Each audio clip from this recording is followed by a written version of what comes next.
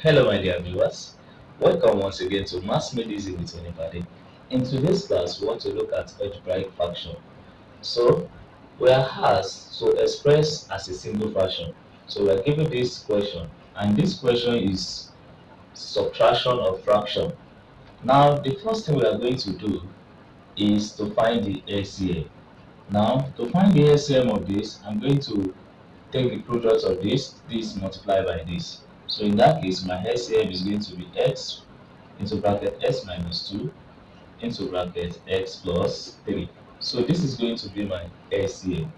Now, the next thing is to use this to divide this. So if you use this to divide this, this will cancel out this, then you will be left with this. So in that case, I will have this in this, I will have this. So I'm going to have x plus 3 multiplied by the numerator. So I'm going to have times x minus this in this. So if this cancel out this, I'll be left with this. I will now use this to multiply this. So I'm going to have x minus 2 and then x plus 2.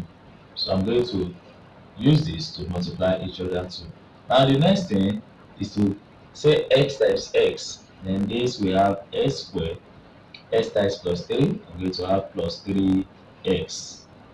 The minus will still be here. Then here, let me open bracket for this because I want to use this to multiply each other.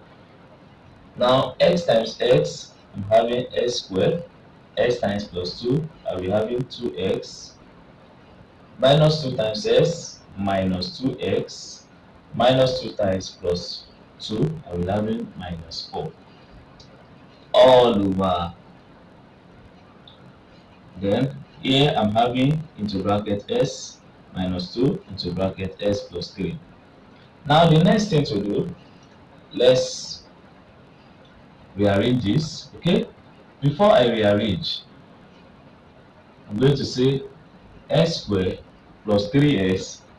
Now, let me use this to multiply everything in the brackets. So, I'm going to have, okay, the first thing, you can see that this is plus 2s minus 2s. So, they can, they can cancel out each other. Because plus 2s minus 2s will give you 0. So, let's just cancel out each other. So, in the brackets, I will be having s squared minus 4. But this negative sign outside will multiply what we have in the bracket. So, I'm going to have minus times s squared minus s squared and then minus times minus 4 I'll be having plus 4 all over into brackets x minus 2 into brackets x plus 3 now the next thing I can now rearrange.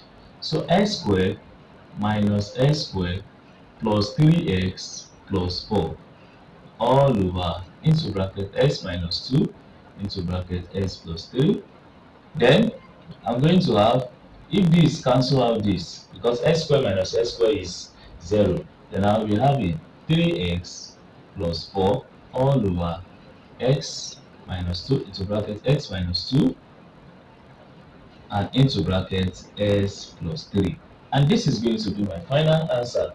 So this is the solution to this question. So we have been able to express this as a single fraction. Thanks for watching guys.